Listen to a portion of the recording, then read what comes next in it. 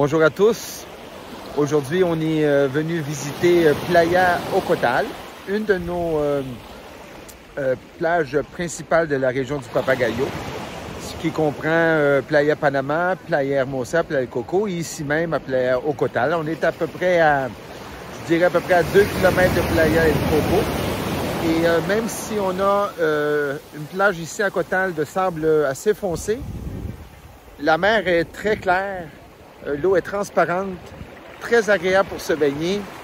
Donc, Playa Cotal, les amis, une autre partie de notre paradis. On va vous souhaiter un bon dimanche et à bientôt. On vous attend Playa Cotal, Costa Rica. À bientôt.